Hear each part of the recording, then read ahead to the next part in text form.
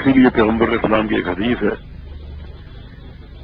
کہ طرف تو فیکم امرین لن تو ذلو ماتمست تم بہما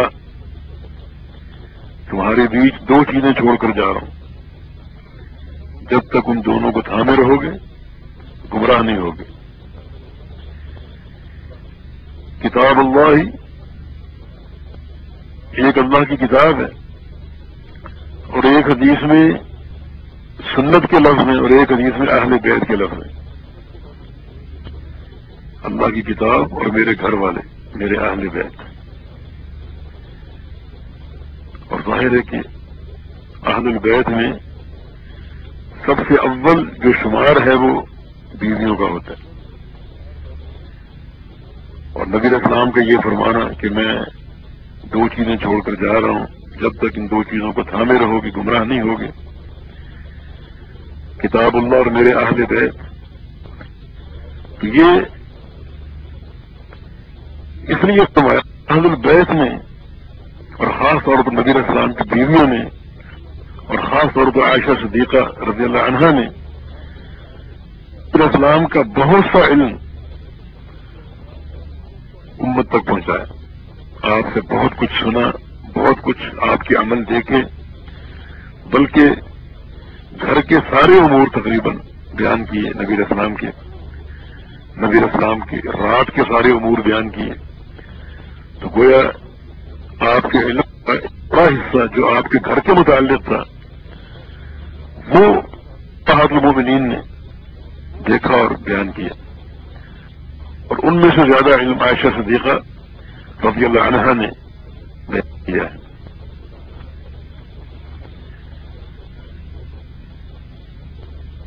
تو یہ عائشہ صدیقہ رضی اللہ عنہ کی ایک بڑی فضیلت کی دلیل ہے۔ عائشہ صدیقہ رضی اللہ عنہ نے کچھ علم بعض صحابہ سے بھی سنا، جن میں حمزہ بن عمر الاسمی اور شاہد نبی وقاص، عمر بن خطاب اور خود آپ کے والد ابو بکر صدیق رضی اللہ عنہ۔ جبکہ سماعی حدیث میں عائشہ صدیقہ رضی اللہ عنہ کے بہت سے شاگرد ہیں، بڑے بڑے صحابہ اور بڑے بڑے تابعین۔ اور امام نزی رحمہ اللہ نے تحریم الکمال میں ایک لمبی فہرست پیش کی ہے۔ ان کے تلامزہ کی، ان کے شاگردوں کی۔ جیسے ابراہیم بن یزید التیمی، ابراہیم النخعی بن یزید النخعی جبیر بن نفیر حسن بصری اور حمزہ بن عبداللہ بن عمر بن خطاب اس کے علاوہ خبیب بن عبداللہ بن زبیر بن عوام.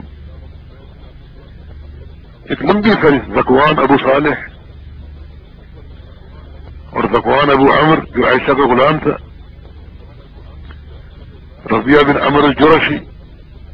دي صحابي مثل زرارة بن اوفا ذر بن حبايش الأسدي. اسرائيل بن يزيد. سعد بن هشام بن عامر. سعيد بن جبير. وسعيد المقبري نجيب المصيب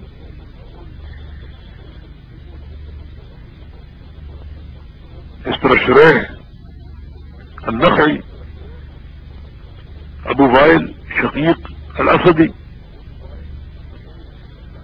ارطعوس بن كيسان طلحة بن عبد الله بن عثمان عامر بن فهد عامر الشعبي. يطيب النعمة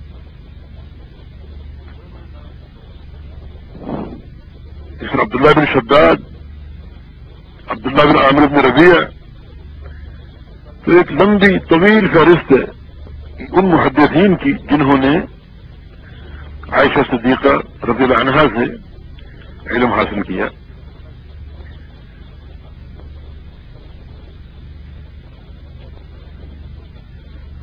صدیقہ رضی اللہ عنہ کے بارہ میں ابو مسل اشری کے بیٹی ابو بردا فرماتے ہیں ولك أبو موسى اشدك اطلع قوله كما أشكر علينا أصحاب محمد صلى الله عليه وسلم حديث قدت فسألنا عائشة عنه إلا وجدنا عندها منه علما. کہ ہم پر رسول اکرم صلی اللہ علیہ وسلم کی کوئی حدیث اگر مشکل ہوتی یا سمجھ میں نہ آتی کوئی حصہ ہمیں معلوم نہ ہوتا تو ہم عائشہ صدیقہ سے رجوع کرتے اور ان کے بعد اس حدیث کے بارے میں علم ہوتا اور وہ ہماری مشکل کو حل کر دیا کرتی تھی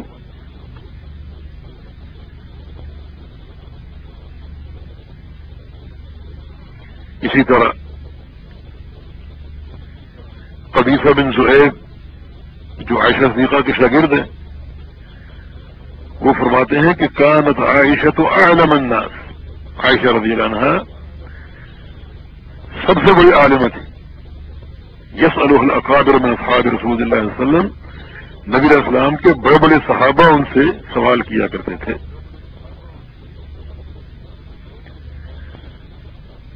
امام عامر شاہ بھی فرماتے ہیں کہ ان کے خاص شاگرد مسروق۔ جب عائشہ صدیقہ سے کوئی حدیث بیان کرتے یا ان کی کوئی بات بتاتے یا ان سے حدیث نقل کرتے تو یوں فرماتے کہ حد فتنی الصدیق بنت الصدیق حبیبت حبیب رسول اللہ، حبیب اللہ المبرأة من فوق سبع سماوات۔ مجھے یہ حدیث سنائی۔ صدیقہ نے، جو سچی ہیں، اور صدیق کی بیٹی نے، ابو بکر صدیق کی بیٹی، اور حبیبت حبیب اللہ، اور وہ اللہ کے محبوب کی محبوب ہے اللہ کے محبوب کی پیاری یعنی محمد الرسول اللہ علیہ وسلم کی پیاری بیوی۔ المبرات من فوق سبع سماوات، جن کی برات ساتویں آسمان سے آئی۔ بلکہ ساتوں آسمان کے اوپر سے آئی، اللہ رب العزت کی طرف سے۔ جب قوم نے ان پر نظام لگایا، تو اللہ رب العزت نے ان کی برات نازل فرمائی۔ اس میں عذاب ابی رباح کا قول ہے کہ کانت عائشہ افتا الناس، کہ عائشہ رضی اللہ عنہ سب سے بڑی فقیحہ تھی وہ اعلم الناس، سب سے بڑی عالم تھی وہ احسن الناس رائن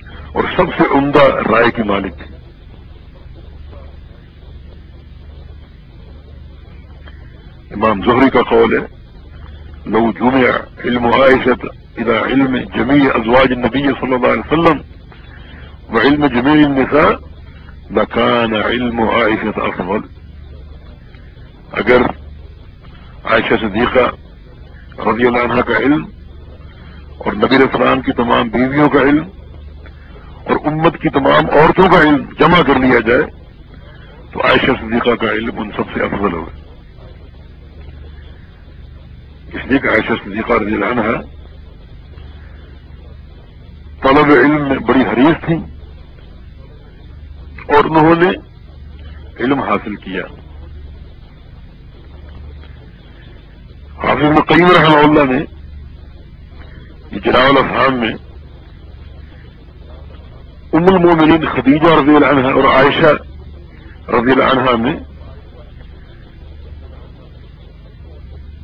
تقابل کیا ہے کہ دونوں میں کون کون افضل ہے؟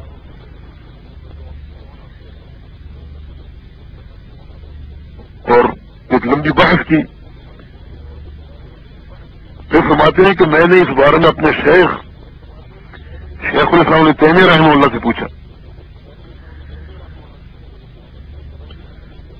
تو شیخ الاسلام نے فرمایا کہ اصل بات یہ ہے کہ عائشہ اور خدیجہ دونوں کے لیے ایک ایک مستقل فضیلت ہے۔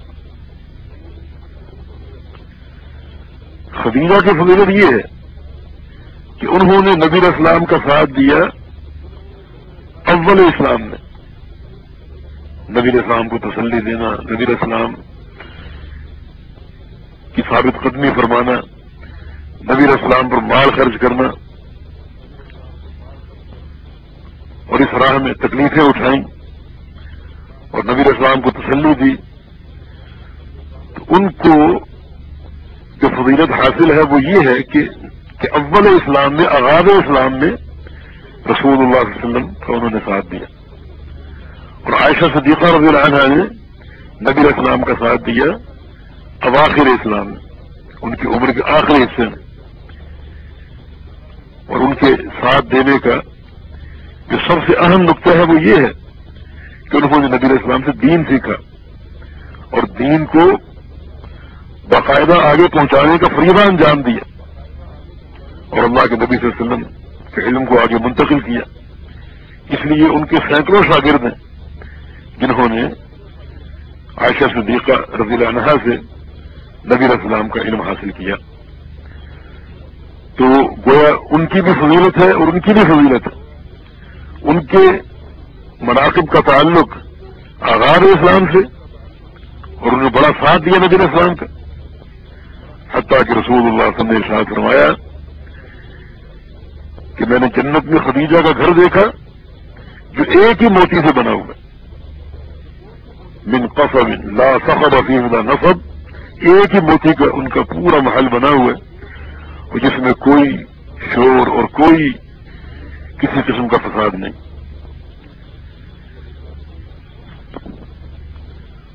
اور ایسے سے دیکھا رضی ہے ان کی شان میں بہت سے نصوص وارد ہوئے اور نبی السلام کی بہت سی احادیث ہیں۔ مثال کے طور پہ رسول اللہ وسلم نے فرمایا